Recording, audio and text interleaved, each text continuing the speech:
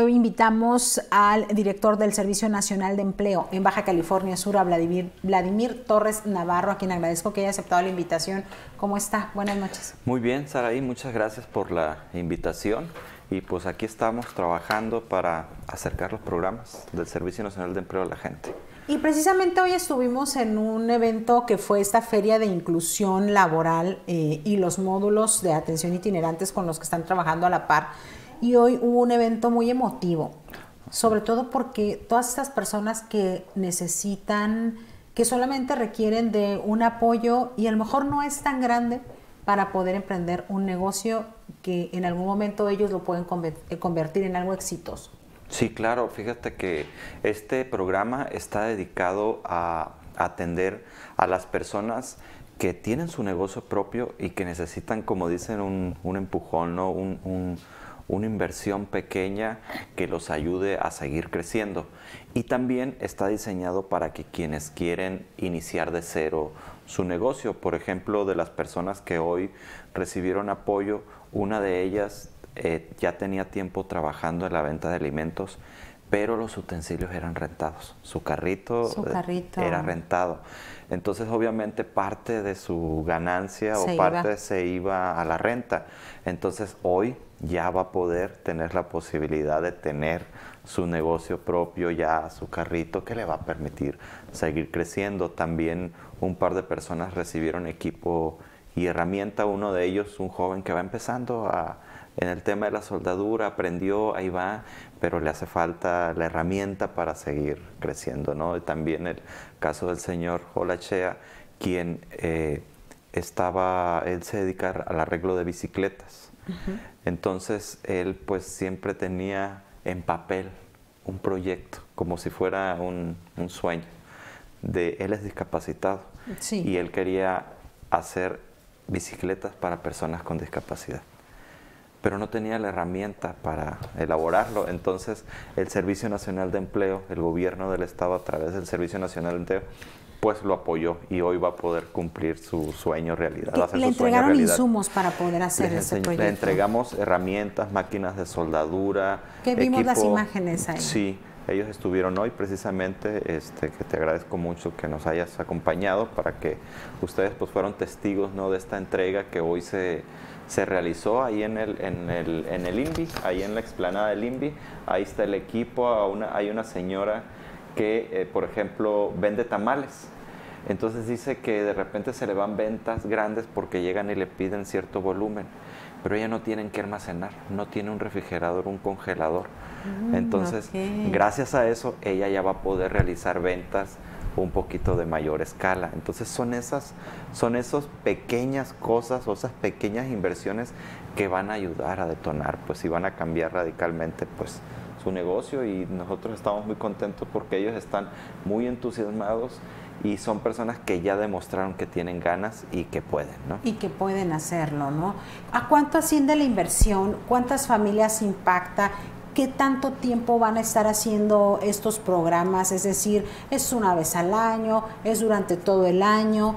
Eh, porque muchas personas dicen, bueno, no, no me voy a acercar a pedir algo porque van a tardar muchísimo. A mí me sorprendió que una de las beneficiarias de hoy dijo, es que yo apenas vine hace poquitos días y en poco tiempo me están dando mi carrito de hot dogs, ¿no? Sí, estamos, fíjate que en el Servicio Nacional de Empleo había un rezago como de 160 proyectos.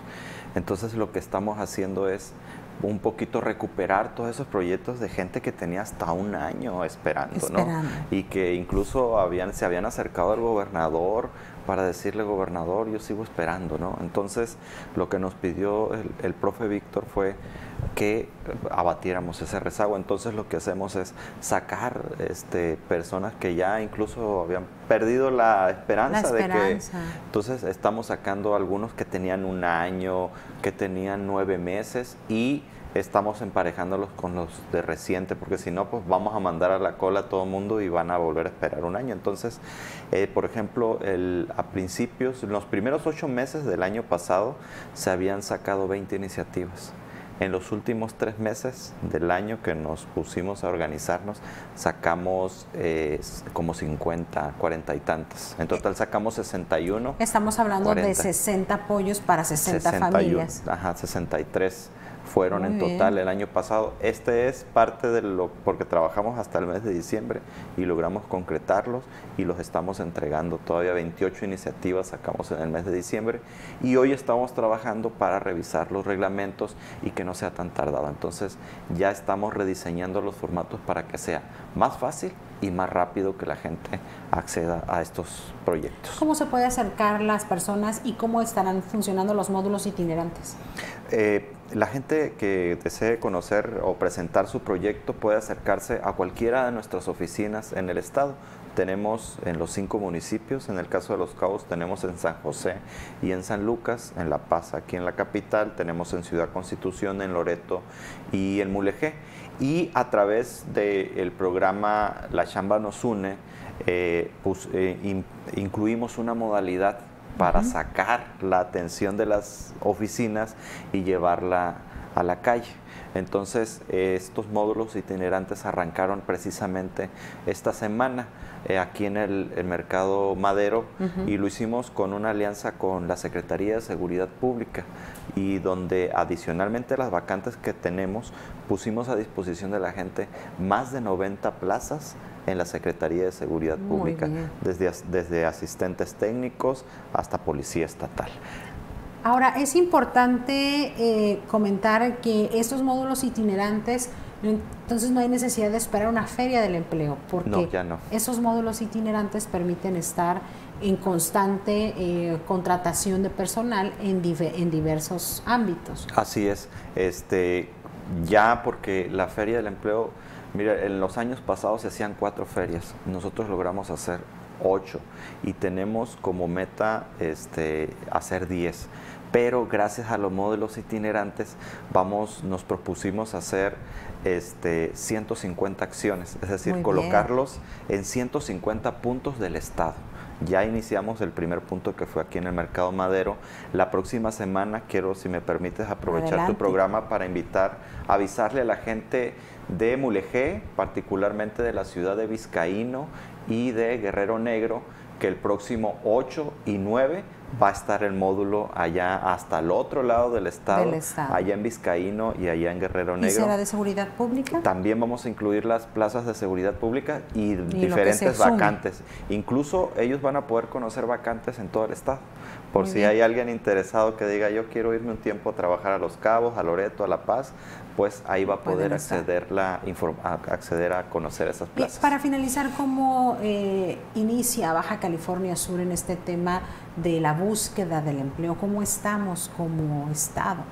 Pues mira, en lo general como entidad vamos bien. Todos recordarán que Baja California Sur fue una de las entidades que más empleos perdió durante la pandemia.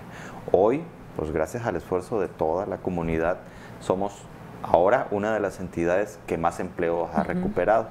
Eh, la tasa de desocupación ha venido descendiendo, este, pasamos de 4 a un promedio de 3% anual y en el último trimestre fue de 2.9, es decir, hay una expectativa positiva hasta el momento. Y nosotros también en el Servicio Nacional de Empleo logramos ayudar, logramos colocar a más de 4.700 de personas. Esto es más que todos los empleos directos que, da la minería en el Estado, por ejemplo. Ellos tienen 3.800 empleos directos, generan todas las empresas mineras del Estado. El Servicio Nacional de Empleo superó esta, este número y logramos colocar a 4.700 personas, que es uno de los números más altos que ha registrado el Servicio Nacional de Empleo desde que opera aquí en Baja California Sur. Aquí están preguntando ya para finalizar cómo pueden obtener más información acerca de, estas, de estos programas para obtener alguna, algún apoyo en especie y poder iniciar un negocio. Pues acercándose, eh, ¿qué tienen que tener? Primero, yo siempre digo las ganas y la convicción. No es fácil echar a andar un negocio, se requiere de mucho trabajo, mucha entereza y acérquense a cualquiera de nuestras oficinas.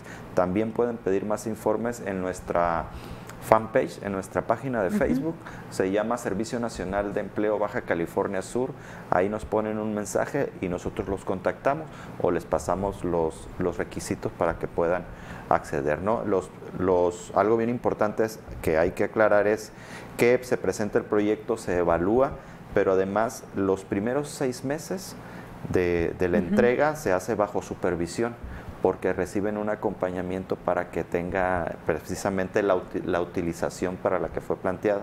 Después de esos seis meses pasan a entregarlos totalmente a las personas. A las personas que lo recibieron.